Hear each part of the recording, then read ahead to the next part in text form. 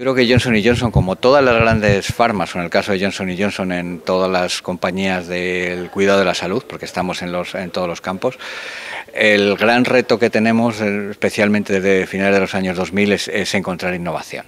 O sea, esto es algo que hasta principios de, este siglo, realmente con la investigación interna, todas las grandes empresas del sector conseguíamos llevar adelante, pero nos dimos cuenta que ya eh, es un campo donde realmente hace falta innovar mucho y nosotros solos no podíamos, cada una por separado no podíamos. Entonces, lo que se ha puesto, digamos, lo, que se ha implementado desde, desde hace unos 10 años o así, no solo nosotros, sino todas las grandes farmas o todas las empresas del sector, es el concepto de Open Innovation, que al final es, eh, realmente tiene mucho sentido, ¿no? En vez de tirar para adelante y decir vamos a, innovar solo nosotros solos, quiero decir vamos a, innovar con todo lo que hay fuera y cuando decimos fuera pues estamos hablando de pequeñas biotechs pero también de universidades, intentar entre todos conseguir nuevos productos que puedan llegar al final a los pacientes, que es el objetivo general.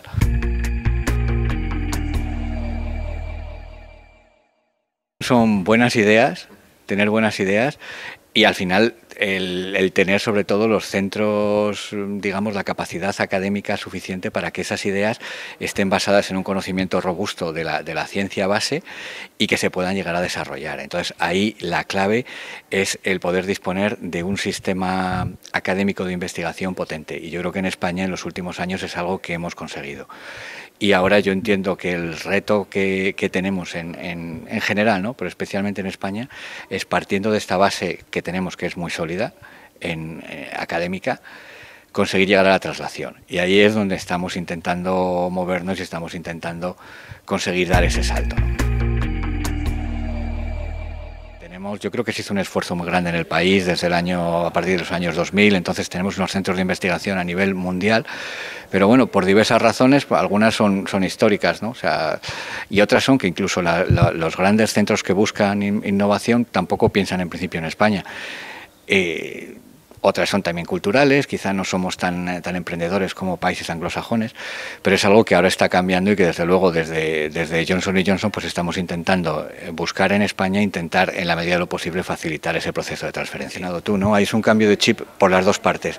Si te vas hace 15 años éramos dos mundos separados, estamos las empresas por un lado, los investigadores por otro, y lo que se ha visto en estos últimos años es una convergencia. ¿no? O sea, hay un cambio, yo, yo creo que eh, es cultural y también un poquito forzados por las circunstancias tanto unos como otros. ¿no? O sea, en, el mundo académico al final eh, ha, pegado muy fuerte la crisis, en los años de la crisis, entonces ha, habido una falta de financiación y en lo que nos toca a nosotros pues hemos llegado a un momento en que hemos visto que no llegábamos adelante con nuestra investigación interna y necesitábamos de, colaboraciones. Entonces yo creo que ahí se está viendo y se está viendo mucho y estamos, yo creo que es un movimiento muy bueno porque al final eh, lo que decía, ¿no? estamos convergiendo y estamos dándonos cuenta que tenemos que colaborar y estamos colaborando.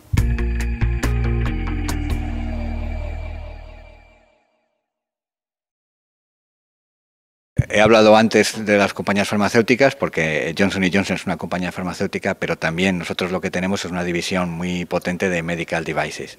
Entonces, en todo lo que tiene que ver con dispositivos médicos, al final la, innovación viene de los mismos sitios, viene de, las eh, universidades. Entonces, lo que estamos buscando es eh, centros de investigación donde se pueda que sean sobre todo, yo creo que aquí la clave es la traslacionalidad, pero lo que he estado hablando antes, lo que me han dicho es que estáis, eh, trabajáis. Eh, tenéis muchas colaboraciones con los hospitales de Valencia, entonces lo que estamos buscando, en lo que yo decía al principio, las ideas que pueden salir de aquí, de la universidad, o de los centros médicos, de los centros clínicos, y esa aplicación para al final conseguir dispositivos médicos que, puedan, que puedan llegar al mercado, que puedan suponer nuevas soluciones a los pacientes.